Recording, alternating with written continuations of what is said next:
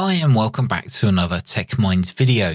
So something exciting has happened in the last few days over in the world of HackRF and Portapack, and that's the release of Mayhem version 2.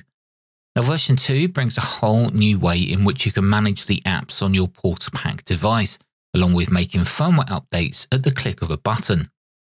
And one of the biggest changes is that the Portapack apps are now stored on the SD card, meaning more apps can be developed and stored on the device without the Portapack storage limitations when the apps were stored on the device itself.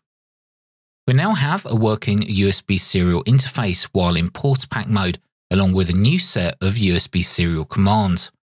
To make use of these new USB serial commands, a new website has been launched, hackrf.app, which will connect directly to your HackRF through the USB serial and a supported browser but this has to be a Chromium based browser, such as Chrome.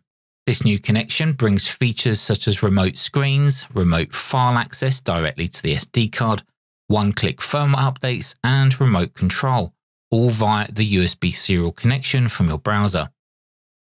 To get all these new features, you will need at least version 2 of Mayhem, and to update your Portapack to version 2, you'll need to download the appropriate files. Upgrading and performing a fresh install follows the same procedure.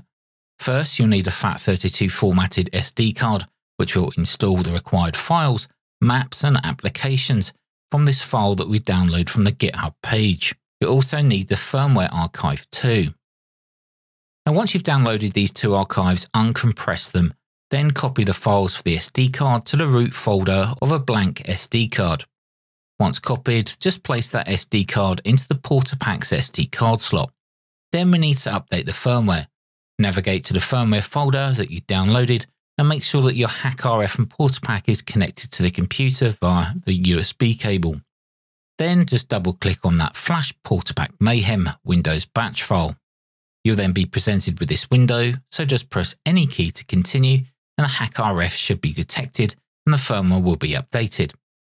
Now, if this is successful and you've upgraded to version 2, you'll never have to use this process to update the Portapack firmware again. So now just unplug the USB cable from your computer and then plug it back in again. Now, if you navigate to your device manager screen, you'll now see a new virtual COM port. This is the HackRF, something that we did not get in previous versions of Mayhem. Now, why is this important, I hear you ask? Well, you can now navigate to hackrf.app within a Chromium based browser. When you click the green Connect Device button, you'll see the HackRF serial port appear in this window. Now select it and then just click Connect. Your browser will then be directly connected to your Portapack and you'll see a live screen appear like this.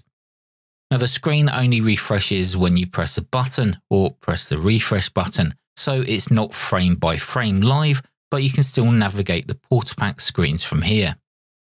You'll also notice below the live screen a folder structure, which is the live contents of the SD card on the Portapack. Now below the folder structure window, you'll see a blue Manage Firmware button. This is where you can update your Portapack to the latest version of firmware, including the nightly builds, directly from your browser. So no more needing to download files and run batch files, you simply use a USB cable and this website, hackrf.app. Now, as mentioned earlier, you can live view the screen, which only updates when you press a button or press that little refresh button, but you can still control the Portapack controls just by clicking the mouse and using the little arrow buttons on screen. Another feature which works very well is an application found in utilities called SD over USB.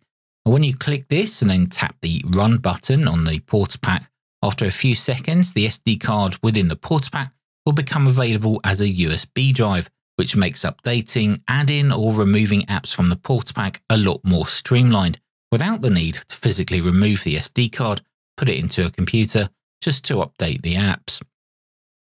Now, I know this isn't going to be radio related, but someone has ported Pac Man and Tetris to the Portapack. Now, I believe this is really for proof of concept to show what can be done with the Portapack running Mayhem version 2. Having the extra storage space for applications makes developing without any storage limitations. Now lastly, if we head over to the settings tab, we now find improved options to change things like encoder dial, user interface, colors, and brightness.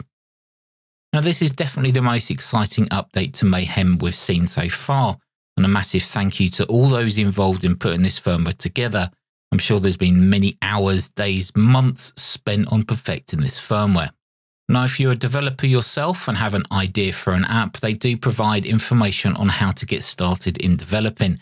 So just head over to that GitHub wiki page and you'll find out more information. Anyway, guys, hope you enjoyed the video. Hope you've learned something. And until the next video, stay safe. Thanks for watching, and I'll see you in the next video.